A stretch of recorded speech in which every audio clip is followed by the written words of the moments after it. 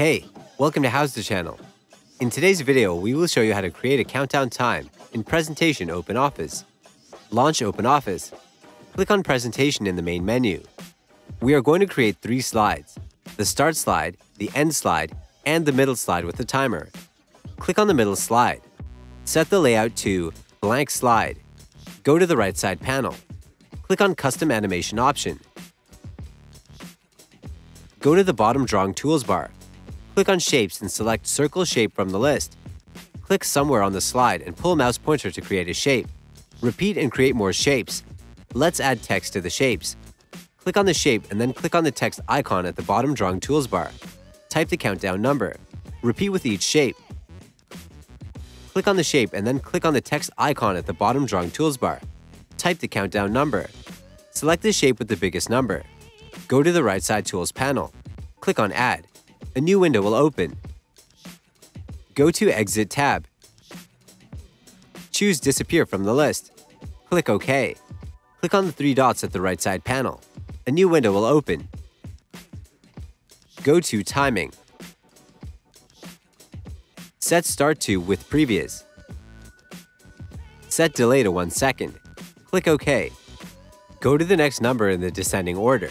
Select the shape. Go to the right side Tools panel. Click on Add. A new window will open. Go to Exit tab. Choose Disappear from the list. Click OK. Click on the three dots at the right side panel. A new window will open. Go to Timing. Set Start to with Previous, with each shape you need to increase delay by 1 second. Set Delay to 2 seconds. Click OK. Repeat with every shape. Select a shape. Go to the right side Tools panel click on Add. A new window will open. Go to Exit tab. Choose Disappear from the list. Click OK. Click on the three dots at the right side panel. A new window will open. Go to Timing. Set Start to with Previous. Set Delay to 3 seconds. With each shape you need to increase delay by 1 second. Click OK.